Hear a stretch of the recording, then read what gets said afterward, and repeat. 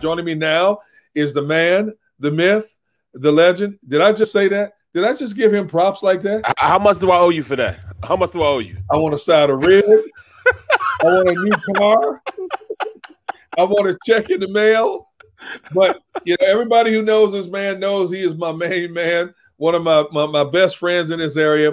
Uh, he is Barrett Brooks. He and I have done a lot of damage talking football throughout the years. Absolutely. And uh, you know, Barrett, it's always good to sit and, ch- and, chop it up with you talking about the Eagles schedule. You've had time now to digest this 2021 schedule. First of all, what jumps out first and foremost to you about this schedule? Man, when they enter it and when they leave it, yep. the alpha and omega, the front and the back of that schedule is is is is is, is crazy, bro. I mean, you you begin the season with with you know, three very four very good teams. You know, yeah. say what yeah. you want to say. This Falcons team is not going to be a pushover. Everybody's saying it's going to be you know a, a, an easy win. I'm not seeing that, man. You know, yeah. they have Pitts roaming around in the middle of that offense. You I mean you have you know Julio Jones. You you you you have you know a bunch of really good offensive players out there that can that can play, man. And I don't think it's going to be a walk in the park. So this is going to be a test for this Eagles team. Um, you know, at the end of the day, this is going to be an indoctrination of a, of a new head coach, a new offense. They're going to have to go out there and impose their will on the team. They're not just going to lay over. You know, they got a new coaching staff also. Yeah. Their defense sucks. Our defense may suck. Yeah. So I don't know. You know, I mean, this is going to be the battle of, of, of, of two teams that aren't really slated to do much this year. But this could be a leg up on the Eagles, you know, really going out there and showing what type of team they are, learning – how it is to be in the NFL, rookie head coach. You know, at least this quarterback Hurts goes in with an offensive line that can help him. All his complement of weapons. I want to see if you give him the reins of a team that's that's you know effective enough and, and you know and played together enough yeah. to go out and execute an offense. I want to see what he can do, man. The the thing is, right out of the gate, Nick Sirianni gets the Atlanta Falcons, then he gets the San Francisco 49ers, and you know healthy, a lot healthier. Yes, healthy. especially that defense. That defense was like a defense of pit bulls, man. Once they uh, down on you, they don't let up. I mean, that defense exactly. that team a couple of years ago. Well, when you look at it, man, they they they got Nick Bosa back. Their first yeah. rounder from two years ago. Yeah, he was out last year, so he's a little he's a little pissed off that he didn't play last year. That's so right. he's going to be chomping at the bit, ready to go out there and rock and roll. He's going to be ready to hunt. You know, and and and Armstead on the other side, he's pretty Ooh. good too. So you're you know, and in the middle of that defense, rookie from last year, uh Javon Kinlaw.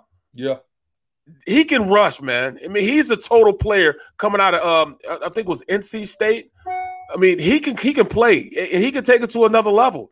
So you know, this team right here, you know, with with with Dee Ford coming off the bench on passing downs, they can come out here and play. And the Eagles better be ready to rock and roll.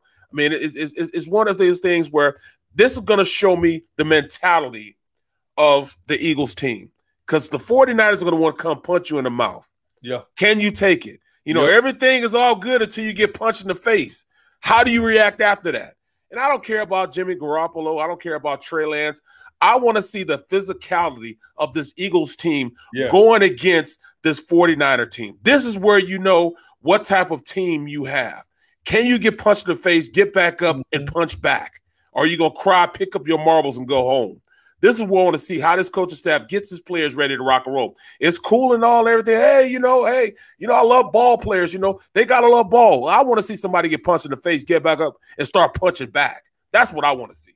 See, and then after they take on that rugged 49ers team, they've got to lick their wounds and, and put rubber bands and gauze and super glue on what hurts and get right. ready for a Monday night trip down to Dallas. And you know, you can say what you want to say about the Dallas Cowboys.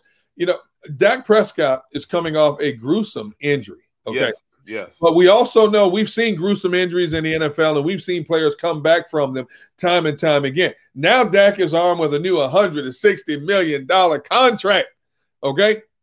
And look at what he's coming back to to throw to. Loving life right now. I mean, you look at the weapons that he has. I mean, come on, Amari Cooper, Michael Gallup. That's your boy, Michael Gallup from Colorado yes. State. You loved yes. him from the beginning when they picked yes. him up and CeeDee Lamb. Yes. Come on. Forget about Cedric Wilson.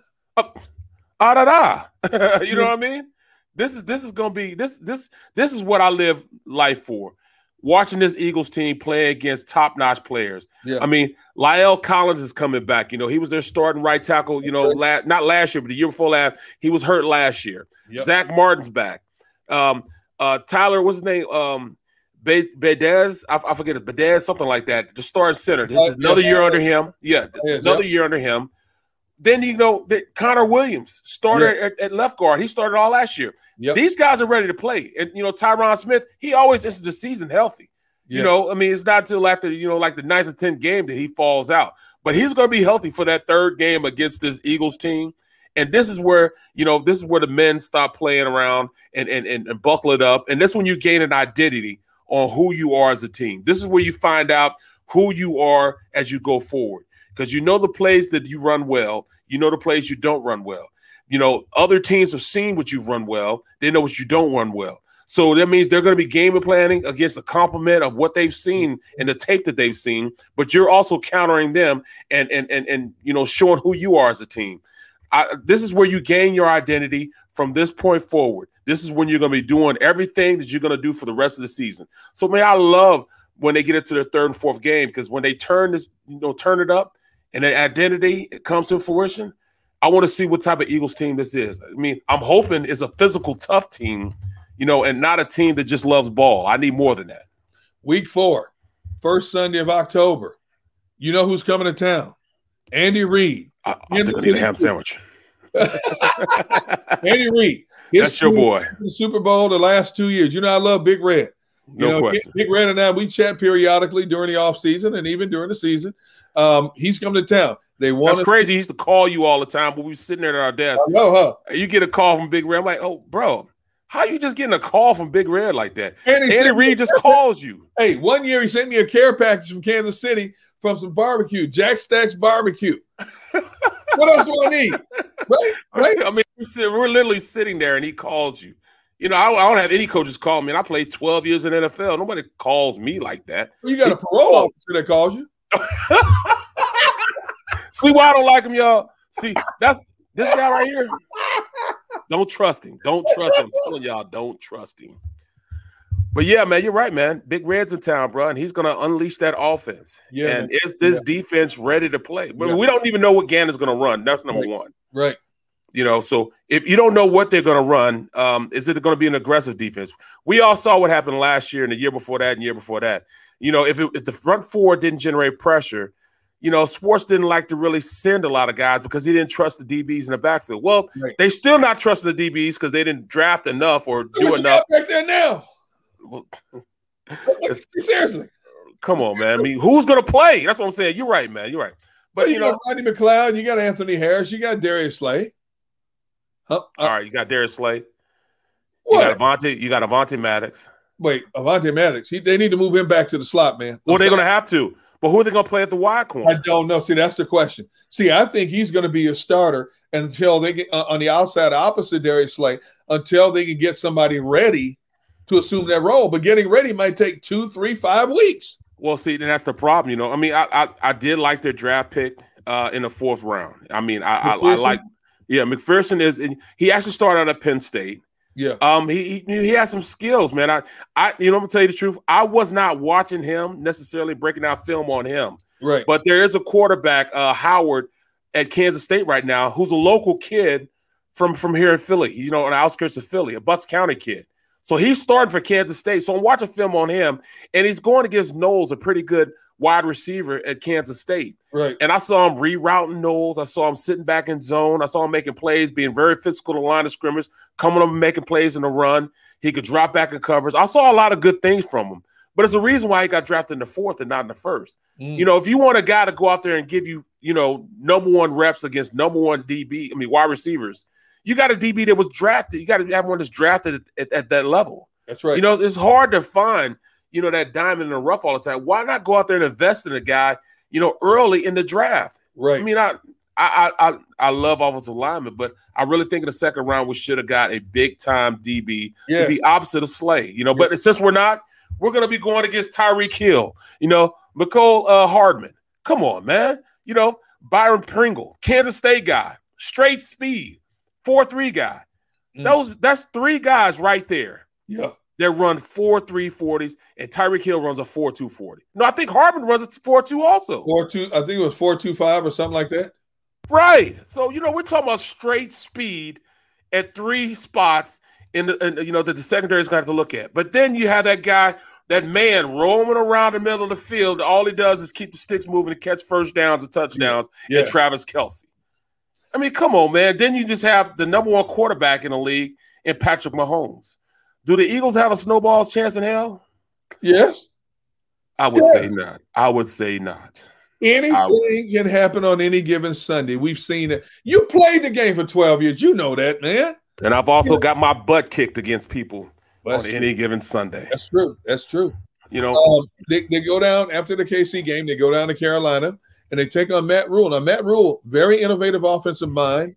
He's got a year on his belt now. They've made some adjustments. They've made some additions.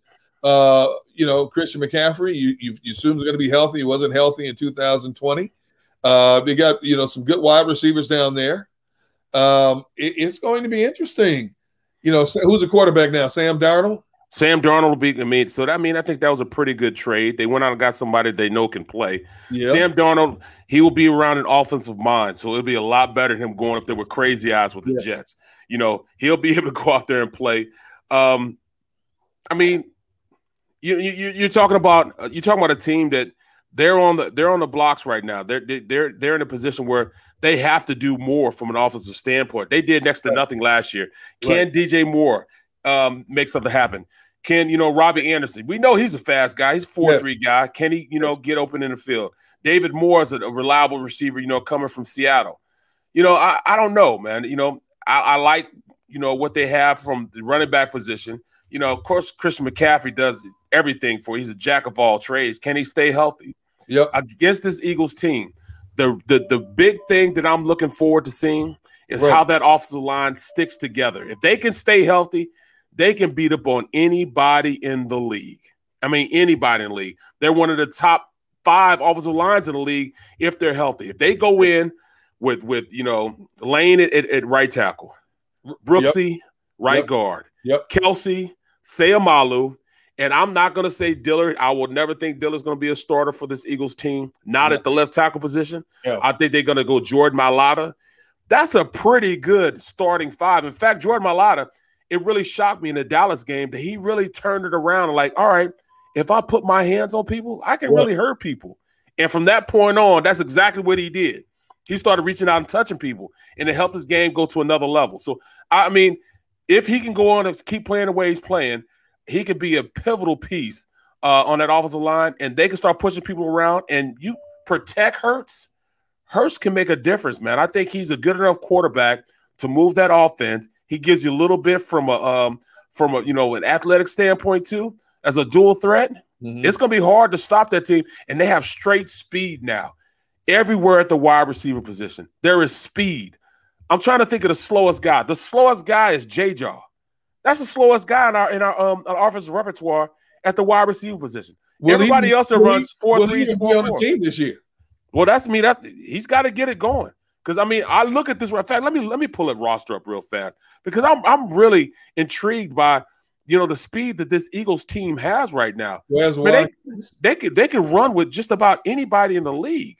You know, so let me look up their speed because I mean, we've been lacking speed for so long that you know it's it's almost as like you know we we we, we say it and we we don't believe it, but we do have speed there. Right, we have right. a lot of speed there.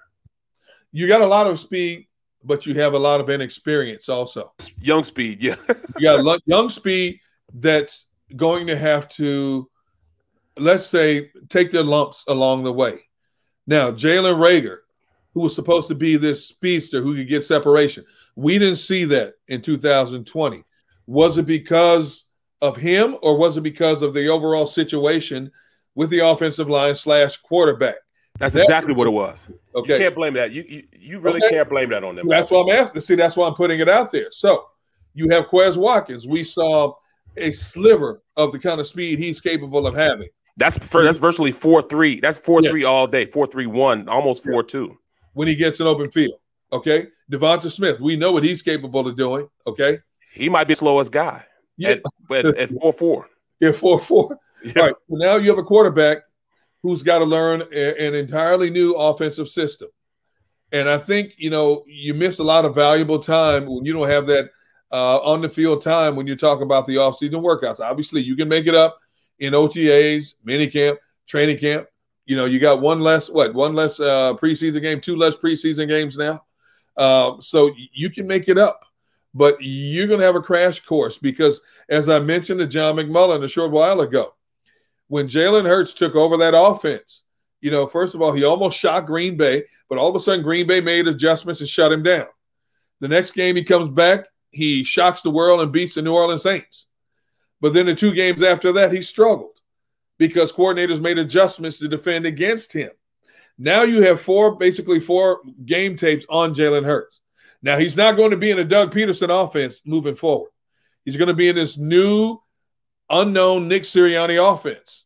So I'm waiting to see how Nick plays to his strengths uh, to enhance his productivity and durability and hopefully dependability with his Eagles football team in 2021. I'm gonna tell you the truth, D Gun. They have a legitimate shot of being a lot better than we um give them credit than, you know, for. Yeah, so because I, I mean, I, I, I just did a little, little, um, a mock schedule, not really a mock schedule, but a prediction of the schedule, and I looked when I went through the games step by step, right, on NBC Sports, right, Philly, and um, I, I, I said that they, they could possibly win eleven games. Did you hit your head? Yes, I did. But come on, I've always been a homer. You know I'm a homer, man. I know, know I'm a homer. You know I'm, I'm a homer, man. I'm putting him right now. I, you can't even say nine and seven anymore. I'm putting him at nine and eight right now. Maybe, maybe, maybe, maybe, maybe ten and seven. Maybe, maybe. here's the thing: they have the easiest schedule uh, in 2021.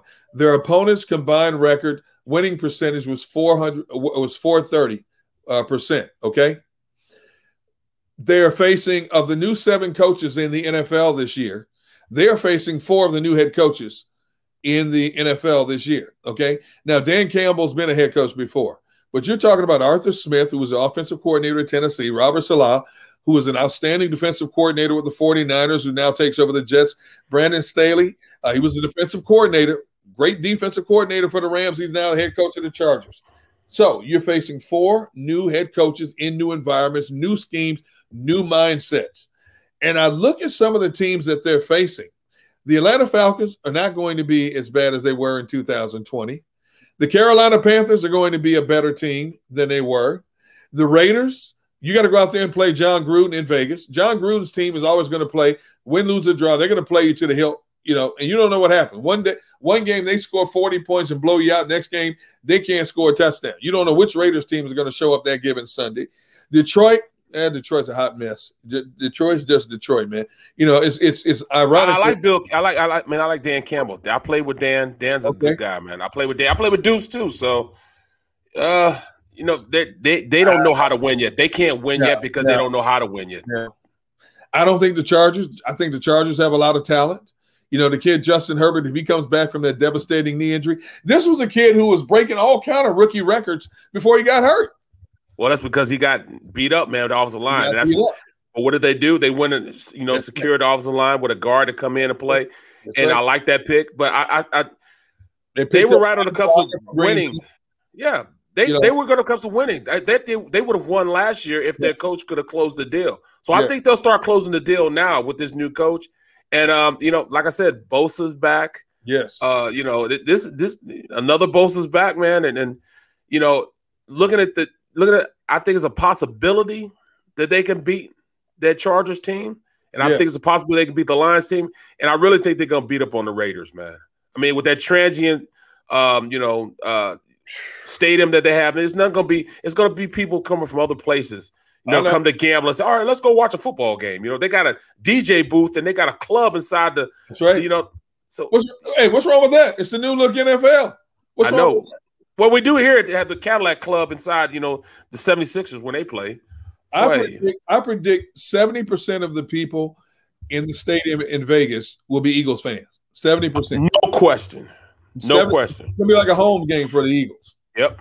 You're now, right. That doesn't translate into a win, but I tell you what, it does help when you got to go into enemy territory in, in hostile environment. It's always nice to have that home back, man. When you got to face an enemy on their turf, it's a difference, man, because that's a beautiful stadium, bro. Ooh, that's a beautiful. Stadium. I know. I've, I haven't been there. Just looking at the pictures. Wow. I'm, I'm, I'm talking about the pictures too. I, I haven't yeah, seen it either. Yeah. I'm looking from you know when they played those games last year. I'm like, man, look at that stadium, bro. Beautiful stadium. Now you know when it comes to playing the Jets, uh, Robert Saleh is going to have them playing a whole lot better on defense. I don't know how that's going to translate to offense, especially playing with a rookie quarterback. Uh, that remains to be seen. He's going to take his lumps. And by the time the Eagles see the Jets, we're talking about what week 13, December 5th, week 13. So you you don't know what he's going to be like uh, in terms of is he the it factor? Could he be the next Justin Herbert? You know, it, could he be the next? Who knows? Mediocre quarterback at that point. He's going to be trash. That's what he's going to be. He's gonna, it's the same old Jets, man. I don't care who they have what? as the GM.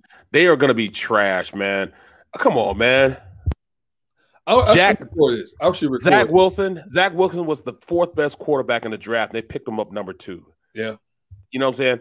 I like Alijah Vera-Tucker. They got him in the first round. Right. Really good player. Right. Solid player at the guard position. They're going to help him out. You know, they got two huge tackles there. Right. You know, they're, they're going to be okay.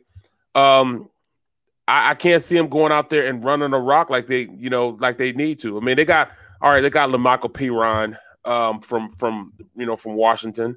You're right. Um, Tevin Coleman, you know, he just left San Fran. He was with Atlanta, went to San Fran, came here. Uh, you know, at, th- at, this point, I can't see them going out and really establish run with the running backs that they have. So, how do they think that they're going to go in and make a real difference? Okay, on the offensive side of the ball, I still can't see where I can see them going out and really making a difference. I mean, Carl Lawson, you know, yeah, yeah, he he balled against us. I mean, he had like three sacks against us. He was like a yeah. no-name guy that had like three sacks against right, us right. last year. You know what I'm saying? So he comes in, gets a big contract, and comes to uh, the Jets. Other than that, you know, I'm I'm I'm I'm trying to see where they are as far as defensively, where they can really make a difference. I don't see it. Maybe somebody does see it. I can't see it. It's going to be the same old Jets. He is not, you know, this is what Zach Wilson is not talented enough to get those guys going in the right direction. Not just yet. They did go out and get Corey Davis from Tennessee. Right. We're talking about a big, big time receiver. You know, he's big. He he can go out and catch anything. You know, that's, that's a good pickup for him. You know, but still, you know, you got Denzel Mims. You know, Philly fans, we still hate him. You know, talking trash about it because we didn't pick him up. I mean, come on, man. He's talking about a dirty city. I was scared to get out. Punk, we don't want you here, no way. You don't need to come here. How do you really feel? Yeah, you know what I'm saying. But we're gonna we gonna get you. Yeah, we we got you. Oh, I hope somebody can get him. We got somebody to get him. Uh, I don't think we got anybody to get him. Yeah. Right. here's, here's here's the one team that I will be watching. The one Eagles opponent I'll be watching. And of course, uh, they come to Lincoln Financial Field November 21st. The New Orleans Saints. You know, we've grown so accustomed to the Saints winning double digit games every year, but that was with a guy named Drew Brees. Right. now it's either Jameis Winston or Taysom Hill. They have everything you need to win except a quarterback. What what what uh my, my, my old man used to listen to the thrill is gone. Yeah. BB King. BB King, the thrill is gone. gone.